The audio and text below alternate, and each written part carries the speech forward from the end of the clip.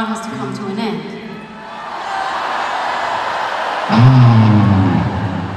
Thank you. But until next time, will you come back next time we come to see you?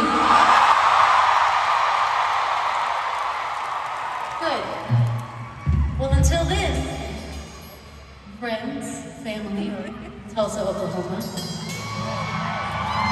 we love you.